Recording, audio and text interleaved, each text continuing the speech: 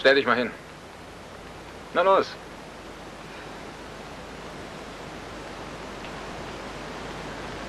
Und jetzt spring mal hoch. Will mal sehen, ob du an die Decke kommst.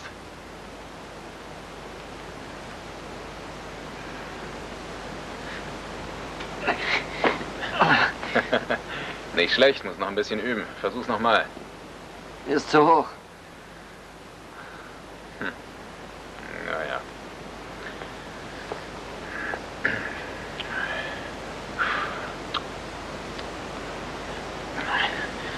Ja.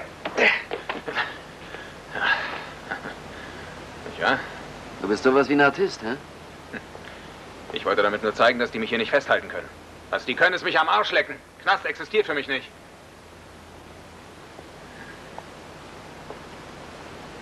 Die ziehe ich mir rein, okay? So,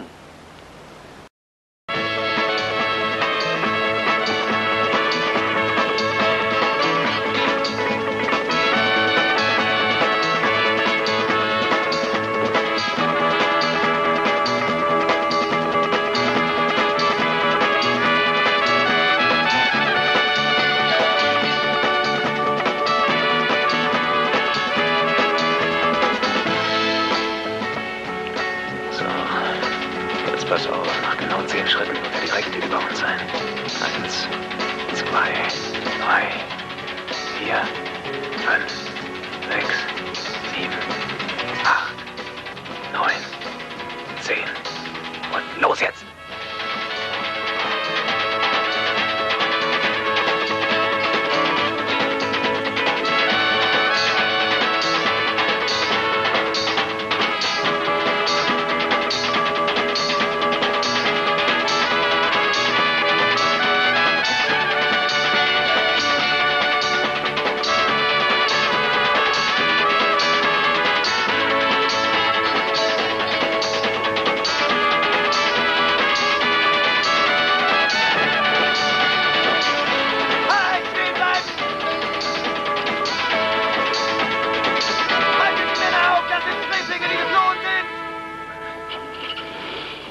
Fahren Sie uns bitte nach DC, aber schnell. Für Sie, das sind ja fast 20 Kilometer. Wissen Sie, ich fahre normalerweise nur in der Stadt. Das finde ich auch bemerkenswert brav, aber nun fahr mal, es gibt ja auch Bares dafür. Aber ja, das tue ich ja.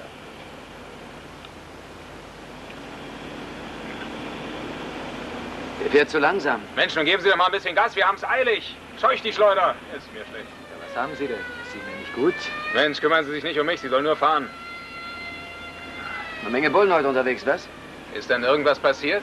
Ah, vielleicht sind ein paar getürmt aus dem Gefängnis. Er hat ja ein Gesicht zum Eier abschrecken. Richtig, Bruder, aber eine schöne Stimme hat er. Was ist denn jetzt? Warum hält denn das Phantom? Warum halten Sie? Ja, weil ich keinen Sprit mehr habe, Mensch. Ich Ausgerechnet muss tanken. hier? Na, wo denn sonst? Wenn mein Tank leer ist, kann ich nicht weiterfahren. Dauert ja auch nicht lange. Hey, Pino, sag mal, äh, Ja, ja, ich bin gleich fertig, dann komme ich zu dir.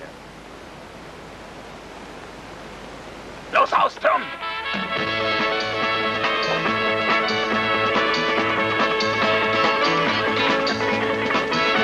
Schön hoch, was? Ja, sieht ganz sicher aus.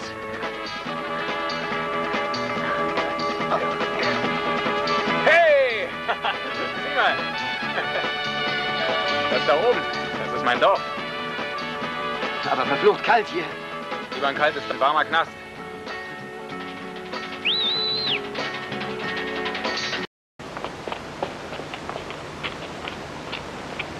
Ach, du bist es. Ja, ich. Grüß dich, Segelohr. Fliegst heute wieder selbst, ja? Warst du nicht im Gefängnis? Freigänger, ich kann heute raus.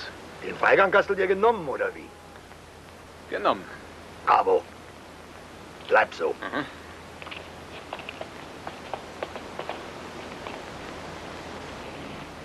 Sie bestätigen also, dass Giuseppe Benedetto noch am Leben war, als Sie Ihre Kameraden verlassen haben. Ich hoffe für Sie, dass das stimmt. Sollte das aber nicht der Wahrheit entsprechen, sollten Sie ihn getötet haben, so würde das Ihre Position im Prozess erheblich verschlechtern.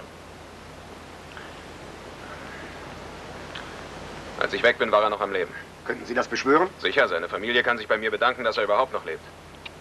Meine Kameraden sind ziemlich harte Burschen. Die waren ein paar Mal drauf und dran, ihn umzulegen. Aber ich konnte das verhindern. Würden Sie für uns mit Ihren ehemaligen Kumpels mal reden?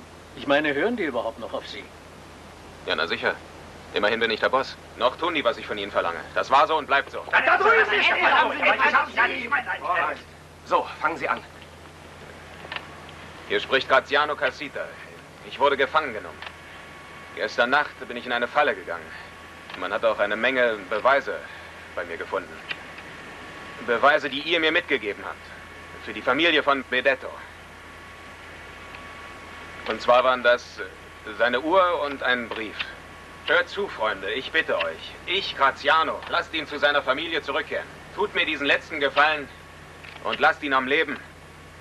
Tötet ihn nicht. Lasst ihn frei. Euren Namen werde ich niemals verraten. Ich bitte euch. Es ist mein letzter Wunsch, den ich an euch stelle. Und Sie glauben, das hilft mir jetzt weiter, ja? Wir werden sehen. Beantworten Sie mir eine Frage. Warum haben Sie ihn entführt? Er ist ein Arbeiter ohne Geld. Stimmt das, dass die Regierung Ihnen über 200.000 Dollar geboten hat, wenn Sie sich freiwillig stellen? Ist das richtig? Können Sie das bestätigen?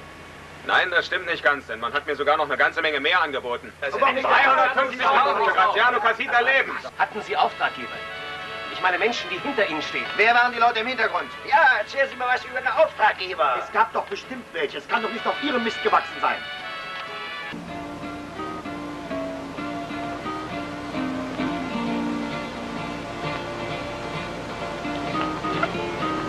Hier ist. Aber das ist ja roh. Denkst du, so ein Schaf hat gar gekochte Eingeweide oder sollen wir ein kleines Grillfeuer machen für die Bullen?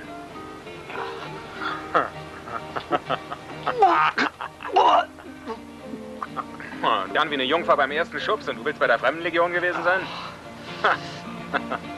Hör zu. Ich. ähm, Ich, ich hab dir das schon längst mal sagen wollen. Hab nämlich was für die Revolution übrig. Sowas kannst du hier täglich haben, eine Revolution. Nur nicht, wenn du dich aufhörst wie eine Zicke im Milcheimer. Dann wirst du nicht mal den Anfang einer Revolution mitkriegen. Also friss das oder du wirfst bald keinen Schatten mehr. Frisches Regenwasser. Du musst dich einfach aus der Natur ernähren können. Dann kann dir nicht viel passieren. Sieh es als Überlebenstraining. Kapierst du das? Ein bisschen und erzählen Sie uns was. ja, ganz gut, ich ungezwungen. verstehe schon. Also, äh, ich sag's nochmal. Ich war nie ein Verbrecher. Ich verteidige mich dagegen, ausgenutzt zu werden. Das ist was ganz anderes. Zeigen Sie uns, wie Sie eine Handgranate werfen. Na so. Ausgezeichnet. Sie werden mich sowieso nie kriegen. Auch nicht, wenn Sie die gesamte italienische Armee gegen mich einsetzen. Die sollen ruhig kommen mit ihren Kanonen und ihren Flugzeugen. Ich werde sie schon empfangen mit den richtigen Eiern. Mach nur ein paar Bin schon bei.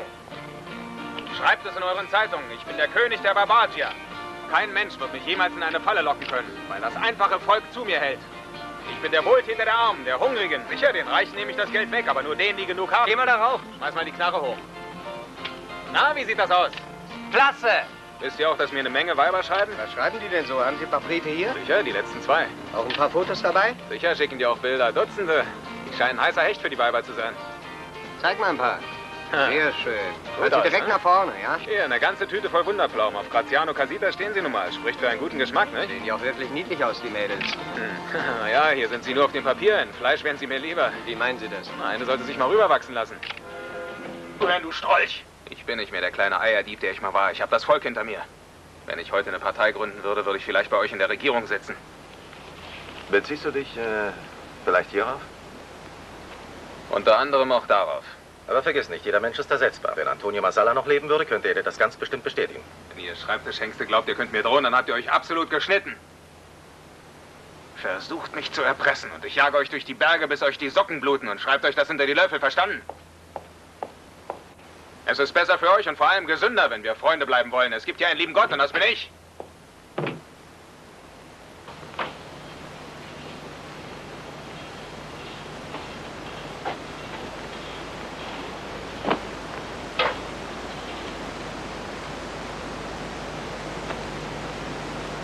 Bist du schon lange hier? Ein Monat. Und weshalb? Unerlaubte Autobenutzung. Was denn? Die nieten dich schon ein, wenn du mal ein bisschen Auto fährst? Das nicht direkt. Ich habe mir die Kutsche geliehen. Nur der Richter dachte anders darüber. Du bist nicht von hier, oder? Wo kommst du her? Ich bin Spanier. Ach, sag mal an. Deshalb kommst du mir so spanisch vor. Ich bin aus Madrid. Na, sieh mal an. Also ein Städter.